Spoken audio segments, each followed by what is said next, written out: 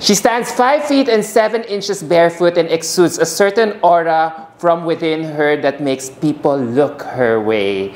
If she looks back at you, her smile could be so arresting. But it's not that that we are so enamored with her at the moment because she's got one of the interesting resumes here in the pageant. Apart from becoming a beauty queen, beauty queen, she's also a mom and a wife. So nakikilala niyo na ba kung sino tong i-interviewin ko? So here she is. Without further ado, please say hello to Miss Universe Philippines 2024 contestant from Pasig City, Miss Selena Antonio Reyes. Hi, hi. Thank you for having me. Finally, finally, I was able to have you Yes, on my yes. show. Thank you for Thank you. giving Mm-hmm. the time and effort in gracing my Of course, interview. ko pa ba? Oo, kasi we, I kinda know her already, guys, Mm-hmm. because uh, nag-cover ako ng Century 2 ng Superbuds before, and that's where I met you, di yes, ba? ah, ah. Grabe. 2022. Oo, 2022, yeah. Yes, ah. And I'm here again. Oo, nagulat kami. Actually, when the age limit was removed, hindi ko naman inisip na sasali ka. Ah. Although we're friends on Facebook. Pero hindi ko talaga naisip na okay, she's, Nasasali. na she still has Hindi ko rin naman siya in-expect. Nasasali ako. It, I mean, it was a... It was actually a spur of a moment thing na nag, eh, nag-start lang siya sa friends na parang, uy, tinanggal na yung age limit, baka gusto mong sumali. And ako naman, personally, parang naisip ko, bakit nga hindi? I mean, Oo. it's a good opportunity. It's and kakatapos ka lang ng Superbuds noon, which is, uh, I mean, also a pageant. So parang ako, why not? So I, would- I gave it a chance. Now, eto na yun. So how are you? How's how's the experience so far? so far, it's I'm enjoying all the experiences, all the shoots that's happening, all the sponsors visit, and of course, na I'm very proud I get to represent. But I also get to represent a group which is the moms nga. Na parang it's not normal in a pageant world na makakapag-represent ka ng a solid group of people which is moms and overage women. ba? On hindsight ba, nakakatulong ba yung mom profile mo in this year's pageant because it gives you extra publicity? O I, hindi rin? I feel yes, it does. I mean, especially na March was Women's Month.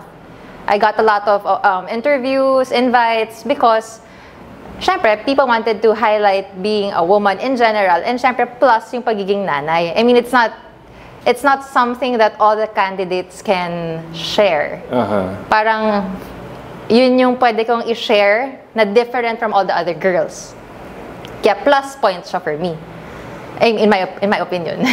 Oo naman, oo Ah. naman. Pero ha, for a mom like you, Mm-hmm. wow, talagang kami talaga napapalingon talaga. Na at your age, you just turned 38. Belated happy birthday. Thank you. 38 na. Lapit na mag-40. But okay lang. I mean, feeling ko naman na everything starts at 40.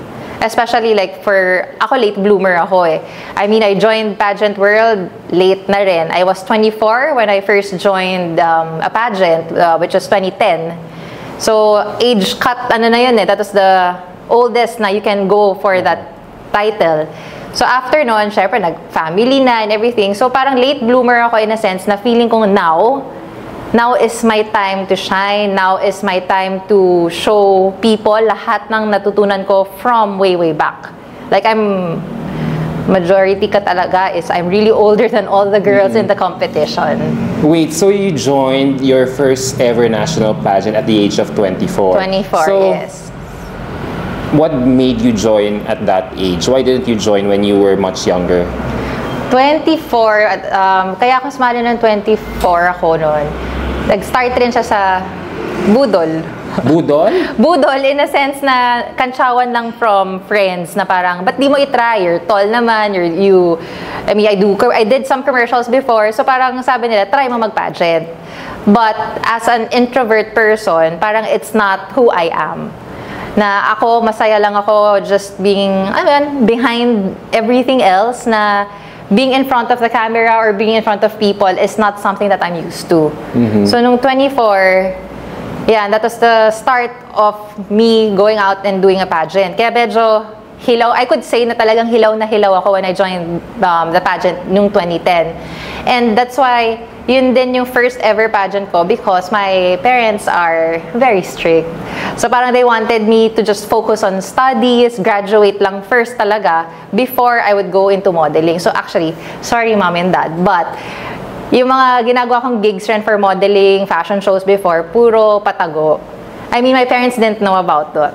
Even at age 24, they were still so strict yes. Mm-mm. to you? Kasi I don't know why. Parang feeling ko as a... Kasi only girl ka ba? No, dalawa kami. Pero kasi feeling ko, like now I'm a mom, syempre yung takot ko na baka hindi makagraduate yung anak ko or baka mapabarkada, baka mabuntis ng maaga, hindi niya matapos yung schooling niya. So feeling ko, now that I'm a mom, baka yun yung iniisip ng parents ko that time na they really sheltered me na after school, um, I actually was part of the gymnastics team also here in the Philippines. So Oo. yun yung naging buhay ko, like from grade 1 to grade 7, studies and then gymnastics.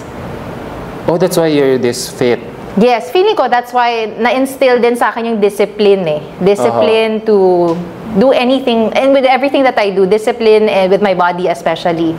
Kasi I was I started at grade 1. Oo. So parang hanggang ngayon, ay, syempre nadala ko pa rin lahat nung natutunan ko from being a gymnast way way back. Oh, so you were 24 then. So what life lessons did you learn after joining your first ever national pageant?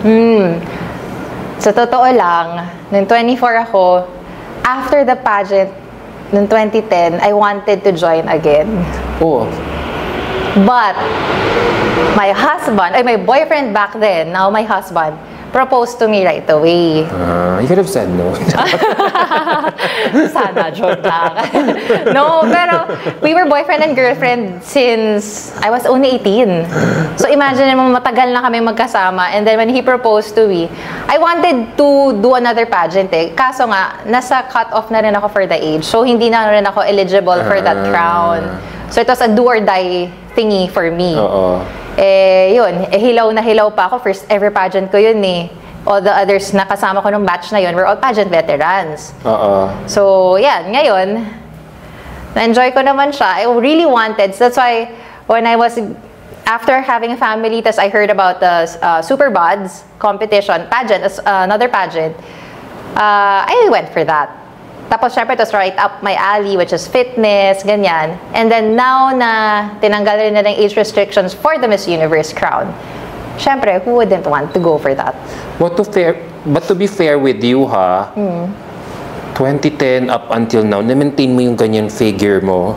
Actually, mas Wow. payat nga ata ako dati. Oo. If I could remember correctly, yung timbang ko noon was 100 pounds. Mm. Now, I'm 110. So, mas heavier ako now. Pero ako, feeling ko, personally, mas fit ako in a way na I can eat whatever I want eh. Mm-hmm. Nung panahon before, syempre bata pa ako noon, talagang I would, um, well, what people who join the pageant, most of the people who join the pageant, syempre they starve themselves. Na syempre they're uh, maintaining a specific figure na kailangan ganito lang kakainin or uh, yung talagang maliliit lang kinakain or fruits lang. Ngayon I eat anything eh. I mean like literally anything. Hindi lang talaga ako nag-rice. And I work out regularly. Before, nag-workout kami pero not as intense sa ginagawa kong workout ngayon. Wow. Well, because maybe also um, I'm an athlete. I'm an obstacle course racing athlete. So, yun yung mga sumasabit-sabit. I have competed internationally like two years ago for uh, the Spartan races. And then yun, so that's where I think I got na yung sense of gusto ko ulit mag-compete. Naging competitive rin ako in a way because of that. Ang galing mo naman. I mean, Thank we're you. almost the same age, pero na-maintain mo yung fitness level mo in, do, in more than 10 years na you've been doing this, whether as a mom, Mm-hmm. an athlete, never ka talaga tumaba. Hindi yon actually. Oo. Just like to say it also, hindi ako payat-payat ever since. Yes, nung sumali ako ng pageant in 2010, of course, I prepared for that. Pero I was thin, thin. Pero of course, after giving birth, having my two kids, I gained a lot of weight. Uh-huh. Mabot ako. When was this? Um, 2012 when I had my first, my son. Ah, uh-huh. And then 2014 when I had my daughter. So those durations up until 2019, before the pandemic, malaki ako noon. Like I As was, in- as in malaki, I think my, my face was really round, chan talaga. That's why, before, hindi, wala ako masyadong photos ng malaki because I wasn't confident enough to wear anything. Parang ako, I wanted to just wear big t-shirt and shorts. Kasi nga malaki ako noon eh.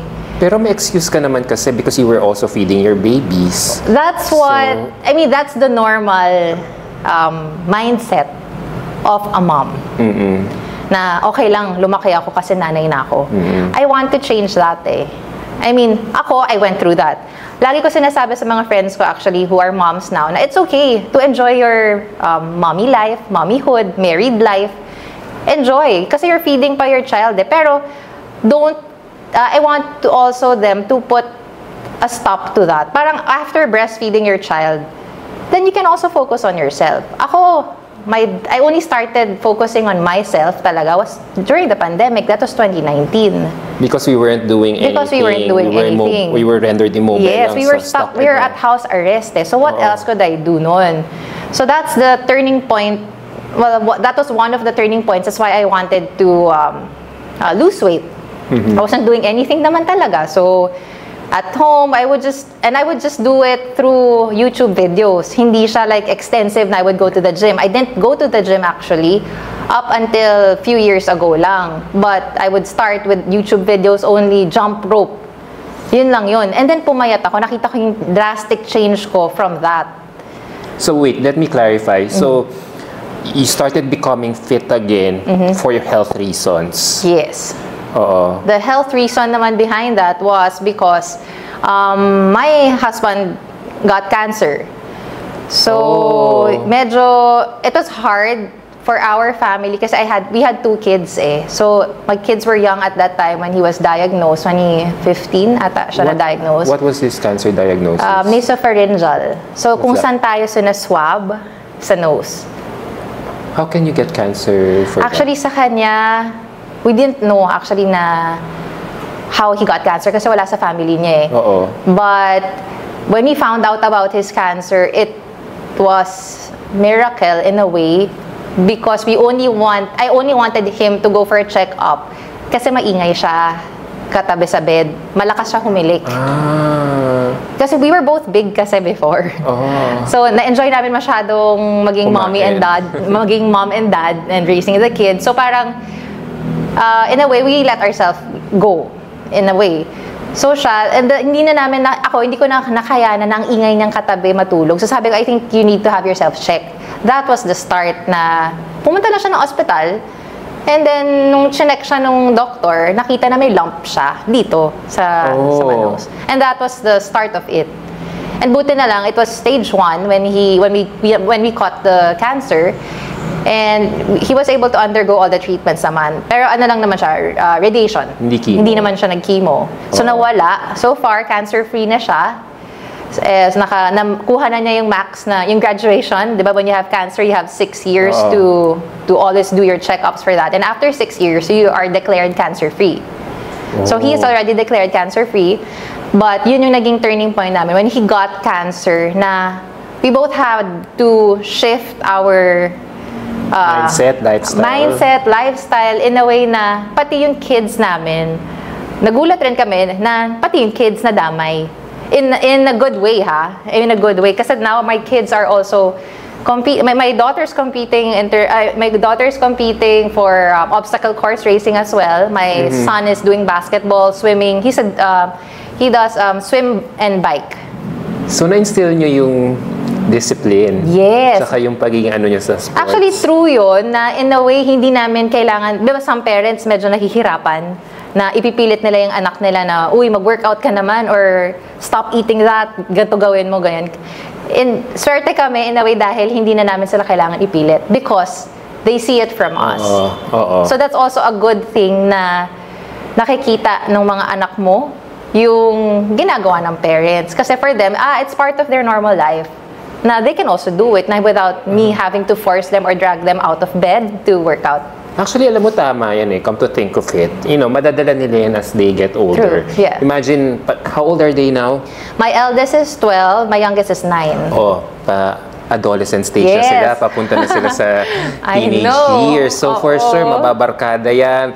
Um, res- for sure, sa awa, sa, I mean, sa awa man, naman ng Diyos, wag naman sana sila makadevelop ng mga vices. Pero if they're Yes. Mm-hmm. really, and if their love for sports is really that strong, I think they wouldn't turn to vices Yes. eventually. If- ah, yeah, I hope so. I mean, with the proper guidance naman, feeling ko Oo. naman. And basta they stick to the sport na they see us also Oo. doing, I'm sure may instill rin naman sa kanila. Kasi like ako, I was instilled with all the fundamentals of being in a sport at a young age. I mean, I was a gymnast for grade, nung grade 1 ako at to grade 7.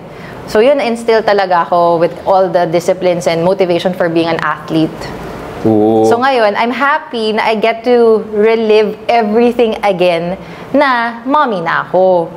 Kasi who would have thought, actually maraming turning moments eh, na who would have thought I could still compete in a Miss Universe pageant at my age? Yes. Who would have thought na kaya ko pang tumambling, mag-gymnastics? I did that for, pande- nung pandemic. Oo. Parang when the medyo nag-clear out na yung mga cases ng COVID, parang diba, started opening different sports again. I was able to do some um, lessons with gymnastics again. And then, who would have thought na kaya ko rin kumarera internationally at my age ha? I'm 38. Siguro 36 ako when I started, or 37 when I started competing, uh, representing the Philippines internationally for an obstacle course race. So, syempre mga kasabayan ko, puro bata. Oo. So ngayon, parang maraming, that's why I say nga na parang life starts later kasi. I mean, it, yes, yeah, you have your life growing up. Pero for me, I really believe na, lalo na for me, na late bloomer ako, ngayon pa lang nagsa-start yung buhay ko. Ngayon pa lang ako nagde-develop. So I'm sure marami rin makaka-relate na feeling na wala na. Pero once ma-hit mo yung on button sa buhay mo, everything will just fold eh. Alam mo, listening to you right now, nabubuhayan ako ng loob. Gusto ko sumali ng Superbots Why not? Edition.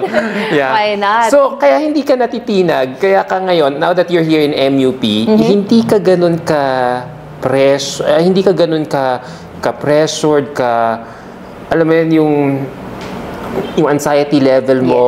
Kasi nga, parang basically, you've been through this kind of situation with Mm-hmm. the, all the obstacle competitions that you went Yes, through aha. before. So, ina-apply mo lang dito. And feeling ko kasi, parang I have done a lot already in my 38 years of existence. Parang feeling ko nagawa ko na lahat ng gusto kong gawin sa buhay. Aha. na this is just another thing na was given to me at the right time, at the right place. Uh-huh. Na if I would be given that opportunity to be able to touch more moms, touch more women, touch more women of age, na it's not too late to start something with your life more pa. Now, if that would be my platform, then so be it. That's gonna be the best um, prize already for me.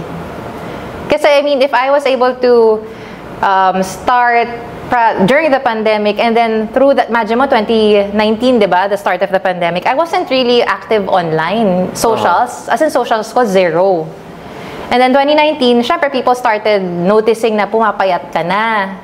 So I had some friends reaching out already and then some actually um, random people na magme-message lang sa akin na for tips, for advices, na that's something na nag-ignite rin sa akin na in a way, ay, nakaka-inspire pala ako ng tao. Especially sa age group ko, na not everybody naman can, I mean, not everybody has that chance na talagang kayang pumayat. Kasi others talaga mama- mawawalan na ng buhay in a way na, ay, okay na ako, nanay na ako eh.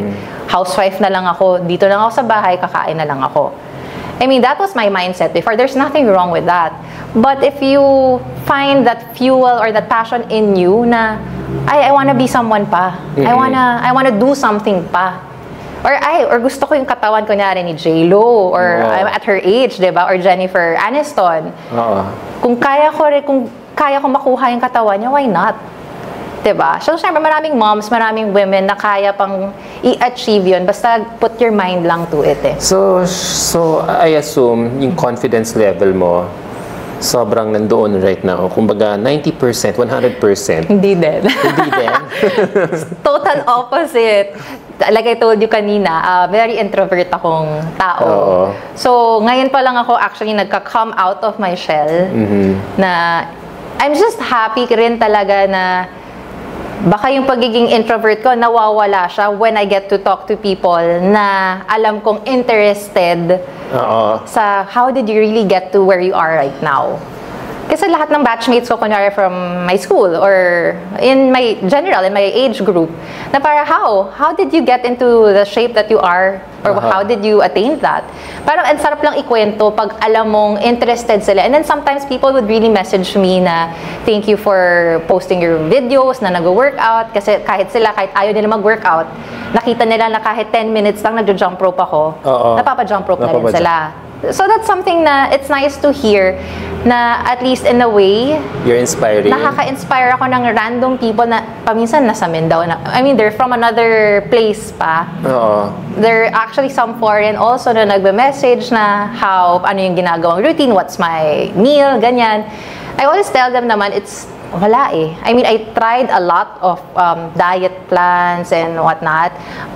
Kung ano lang talaga mag-work sa'yo, yun yung, that's what you're gonna stick to. And I also believe na, ayoko yung, di ba a lot of people will do diet for the sake of may duration lang. Oo. Kunyari may kasal akong pupuntahan, magka-crash diet ako. Oo. Hin- ako kasi yung diet ko is, I want something na I can sustain pang matagalan. So imagine 2019 ako nag-start. Anong petsa na ngayon? 2024. So yun yung goal ko eh. Dapat at least bago man lang ako mag-reach ng senior, ma-maintain ko pa rin yung katawan ko. Yun yung target ko, yun yung goal ko for me. Which you hope I will, hope. Na I hope. people will also resonate Yes. with, with what you've been so. advocating for Yes. here in Miss Universe Philippines. Aha. So, with everything that you've been through, I wonder, how does a mom like you attack her strategy na competition like Miss Universe Philippines, especially this year where it's touted to be Bardagulan si Mm-hmm. edition? Um, ako, I'm just playing myself. I mean, I know they're all pageant veterans. I mean, almost all of them ata are all pageant veterans. Ako, I don't consider myself as a pageant veteran dahil technically parang pangalawa ko pa lang to eh. Oo.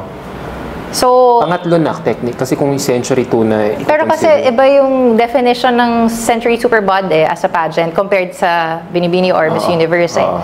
So mas intense talaga yung Binibini and Miss Universe na pageant.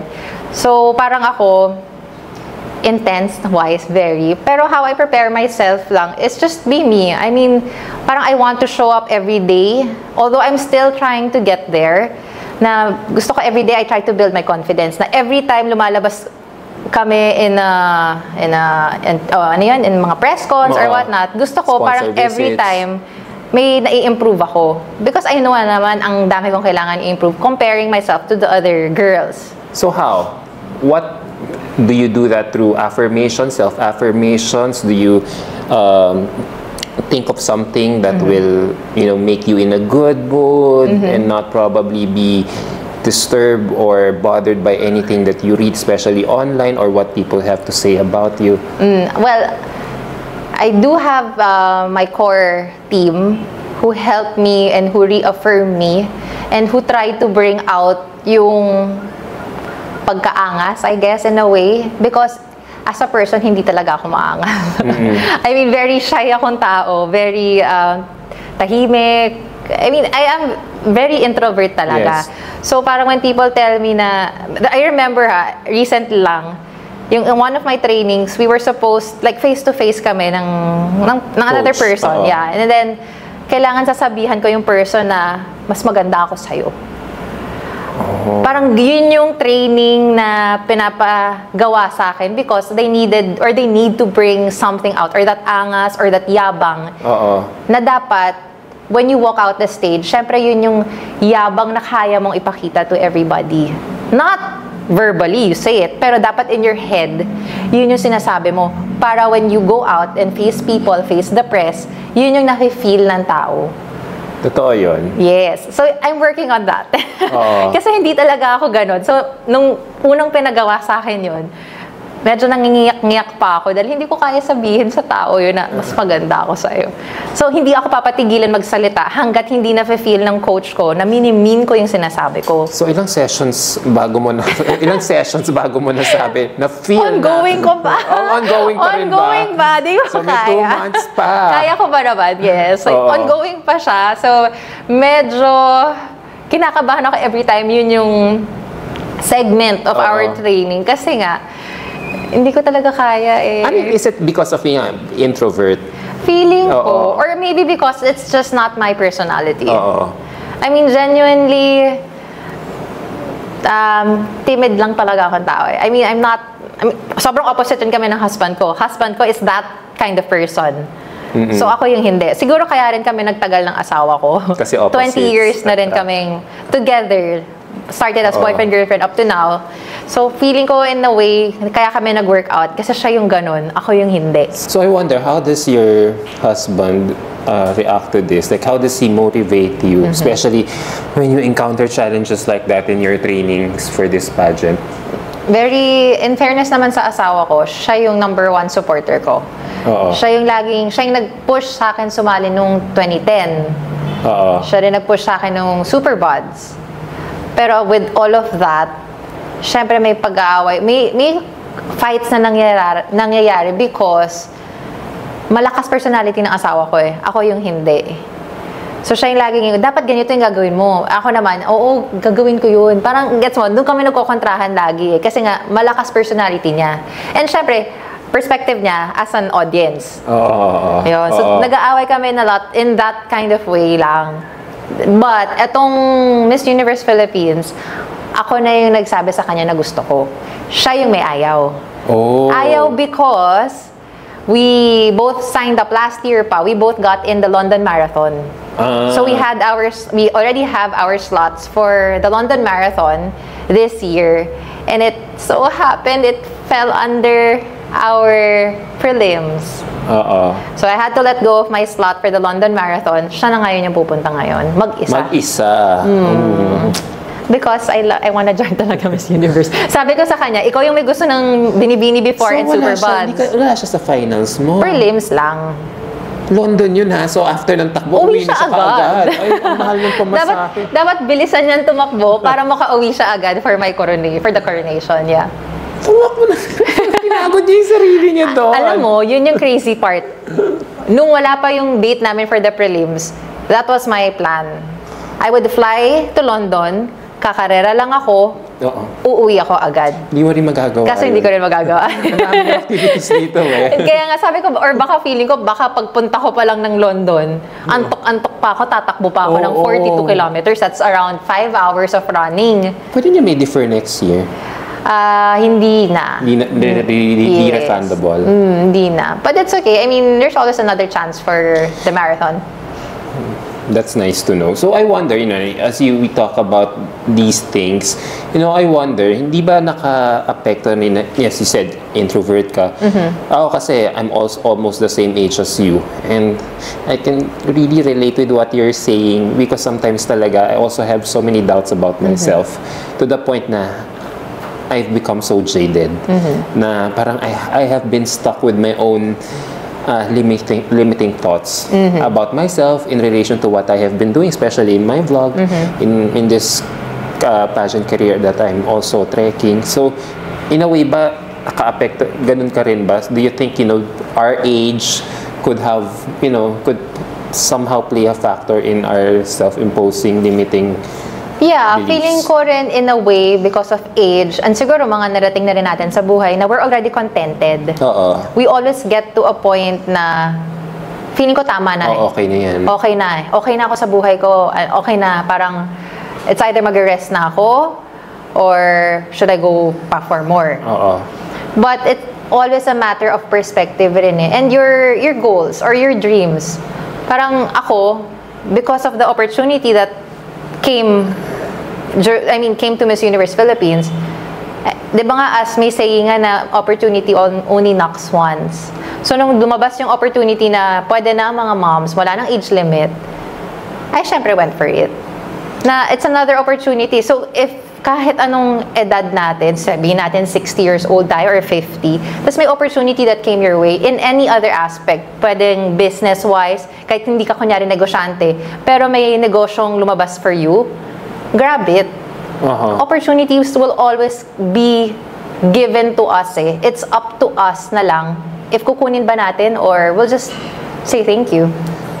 As that opportunity arises, how do you feel about the thought na, you know, okay, the only reason why mothers, um, contestant, contestants like you are being allowed to join is because of the inclusion factor or Yeah. tokenism. Ako, I'm just really very happy na they the Miss Universe organization gave us that opportunity, gave us that platform na we can already join. Parang ganito lang yun eh. Para siyang basketball game. 'Di ba may mga bangko? So pag pinasok yung bangko, nasa sa bangko na lang na player na yon to prove himself. Like kami, if that's how people see mothers, women of age na ganun lang, nasa sa amin na yun eh. How we can prove ourselves more to the bigger audience. And of course, it's a big stage eh. It's an international stage. So as women, as moms, as my uh, age, it's going i'm very happy na it was i was able to open a lot of doors already for my fellow moms my fellow age ageless people na ito pa lang is the start eh. this is the first edition of the removal of age limit so kung ngayon pa lang magagawan ko siya ng way or ng door for the other people to or the other women to see and to be part of it then good Alam mo, tama ka dyan. Kasi last year, nanood, ah, nag-cover ako ng Miss Universe El Salvador. I and si Miss know. Colombia ay isang nanay din. Yes. Nakaabot siya all the way to top 5. I know, ba? I mean, what better opportunity eh for a mom or for the organization actually as well na women naman can really be and can or moms in general play a lot of roles eh. They play lots of hats. So an additional hat of being a Miss Universe representative for their country is something na it's new eh. Yes, it's new. Pero why not accept some I mean some I mean why not accept the change? It's a good change in a way na it's being able to reach out to a bigger audience to more women as well to more people of age. So why not be able to use that platform especially for me like I'm a mom 38 years old. It's the biggest platform I can have to represent all the moms out there or all the ageless women out there. So th- Yeah. with that, I'm just trying to shift my perspective talaga na happy na, na buksan ni Miss Universe organization yung doors namin as moms. Do you think crowning a Miss a mom for a Miss Universe title holder is like shooting for the stars? If we go back to our argument before. Um, maybe it's somehow shooting for the stars. Pero who doesn't want to dream big? Who doesn't want to look at another perspective? There are a lot, I mean, a lot of people have represented na, I mean, all the other pageant girls, they're all the same. They all have the same story. Kailan ka magkakaroon ng Miss Universe winner who has another story to tell, who has another um, experience to show, who has another audience to tap. That is true. Yeah. That is true. So, kumbaga sa'yo, it doesn't, uh, your status, your marital status does not define your chances of winning. Kumbaga parang you're, you're still being presented an equal playing field. Yeah. Yeah. That is Mas may edge lang talaga because nga of the mom and the ageless, I mean, age factor. Pero yun nga, I mean, like, um, for that use lang, I mean, we have, yun na yung role namin, I feel eh, as the moms, as the older people na that's our role. We're supposed to prove to the people, to the pageant fans, to the organization, na kaya rin namin. since sinasabi mong kaya nyo, so I wonder, let's let's already visualize that you're already the Miss Universe title holder with with a husband and two kids with you. How can you juggle both? Paano? Kunyari lang sa New York ka, doon ang base ng Miss Universe. Tapos, yung anak mo naglo-long distance call, Mommy, may sakit ako. Ganyan. So, ano, Aha. lipa, anong in- first instinct mo? Lipad? Pa- Papuntang Manila to nurse your sick child? Uh. o, hindi, fulfill, still fulfill my obligations. Well, of course, now, siguro it's also the best time na sumali rin ako sa pageant because my kids are already at an older age. My, my eldest is 12 years old, my youngest is 9. And I talked to them before joining the pageant eh, na mommy's gonna be busy for at least a year. I need your support, your total understanding of this. I mean, with kids, I'm a preschool teacher way back. So parang the best um, way to attack kids is to just talk to them like how you talk to normal people. Because they absorb and they know more eh, if you talk to them properly. So yun lang naman eh. You just have to talk to them properly, explain what's happening. Pero of course, my family will always, I mean, I, I'm very lucky I have my husband beside me. I'm also very lucky that I have my two angels. I call them my angels or my yayas, who have been with my kids, or who have been with us na for nine years. So, kaya kami nakaka-travel din ng husband ko because I know they're in good hands with my yayas. Na kahit anong mangyari, I know na there's another person, another mom figure looking after my kids. But of course naman, I'm always gonna go home to my kids eh. Yun yung Yeah. nasa parang asawa lang yan, di ba? Kung lagi ka namang may uuwi ang asawa. So, ganun din naman with my kids. I will always go home to my kids, to my family, na at the end of a hard day's work, I'm sure that my kids will always be there. True. You know, as much as I want to talk to you longer, we've been talking for more than 30 minutes now. And I so love our conversation. It's so freewheeling. Yes, thank Ah, you. Ang dami ko natutunan para tayo nagkakwentuhan except there's a, that there's a, uh, a camera in front of us right Uh-huh. now. You know, as I end this, you know, and there's no doubt that you, uh, motherhood suits you the best regardless of whatever Mm-hmm. you're into, regardless the fields that you're getting into, the passion, your interest that is making you so alive as a human being. Yeah. right now. So I wonder, what is the what is the best thing about being a mom for Miss Universe? The best thing about being a mom for Miss Universe is I get to share a lot of my life experiences to the girls in general. I mean, yung mga co-candidates ko, actually, pwede na nga silang pumasa as mga anak ko eh. Paminsan natatawa lang ako when they call me mommy or mommy Selena. Or, Yeah. ha? Ayoko bang ganon? Oo. I mean, I mean, marami akong may impart na life experiences with them. So, with that, parang it gets me more um, more of what I want to know also about the other girls. I mean, mabilis ako mag-pick up when it comes to that. Kasi nga, I mean, ang dami namin eh. So I get to reach out to each and every girl to know their story. So I'm just happy na yun yung nagagawa ko also for them. Yeah, the wisdom. Yeah, I know. Yeah. Yeah, all these challenges that sort of make you a mature and more Mm-hmm. confident woman. For sure, a lot of them are learning a thing or two from you silently. Hopefully, without yes. you really, you know. And sanay rin ako talagang mag-alaga. I mean, it's my nature also to like take care since I always take, I've been taking care of kids as a preschool teacher, now as having my own kids. So parang when I'm with them, parang yun yung mindset ko na parang, oh, kumain na ba? Or who wants water?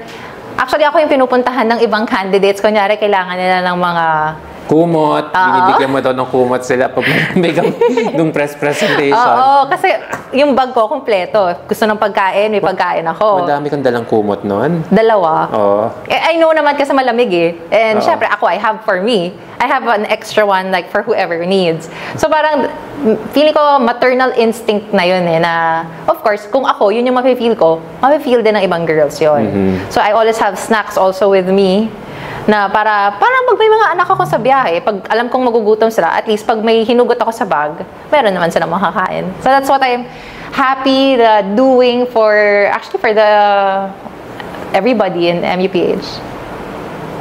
Yun ang legacy mo.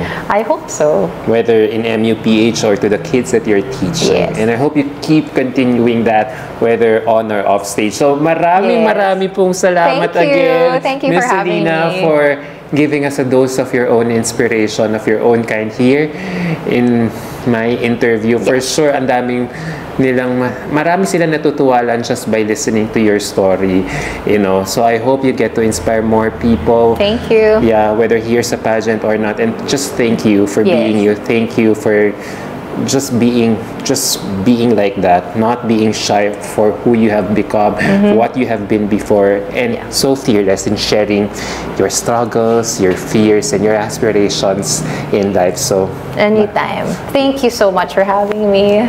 walang anuman Salamat. We'll see You're you more. yeah thank you Thank you. I hope you guys had a great time tuning in with my in my interview with Miss Selena Antonio, Antonio Reyes here. God bless you guys until my next interview. Bye.